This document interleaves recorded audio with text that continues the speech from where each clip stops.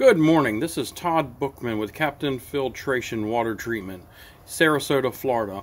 Just going to show you today how to reset your timer on your Clack 5 button softener because it's daylight savings time, November 3rd. First thing we do is hit set clock.